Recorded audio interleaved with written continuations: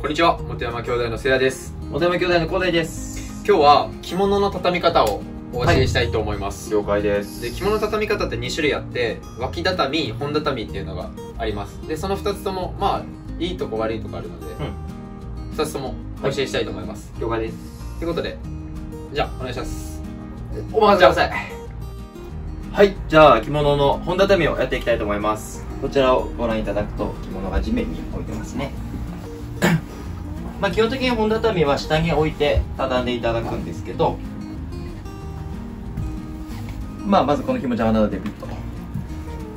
でこの脇線。ここに着物の脇線がありますね。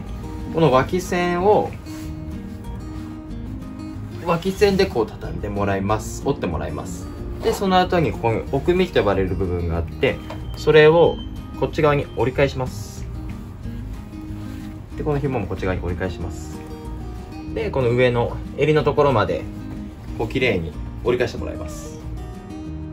で次にここの上に反対側の奥身を上に重ねます。同じように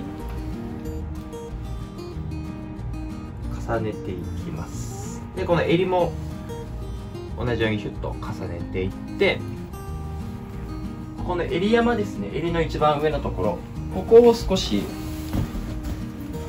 ここも、えっとちょっとテクニックテクニックというかちょっと特殊です。こう三角にこう重ねてもらいますね。なんで上から見たらこういう感じ。はい。で重なったら反対側の脇線を こちら側の脇線に揃えます。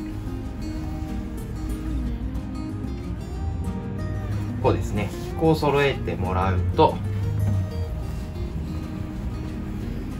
袖もきちんとこのように揃います。でここちょっと整えてもらうとここが背縫いになりますね。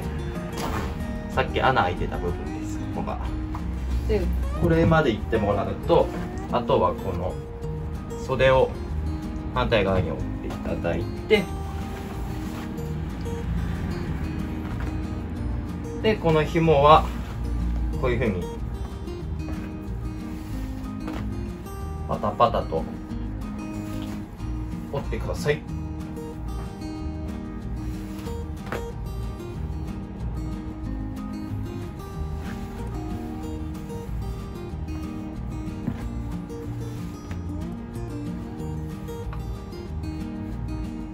はい。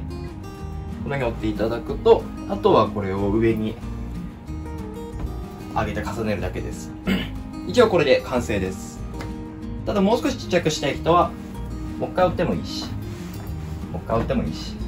この状態でも持ち歩持ち運びはできます。以上です。このチャンネルでは豊かなライフスタイルを送るためのアイテムや、えー価値観遊び方などを紹介していきます。ぜひチャンネル登録よろしくお願いします。この動画が少しでも良かったなと思う方はいいねコメントよろしくお願いします。ではまた。じゃあねー。じゃあねー。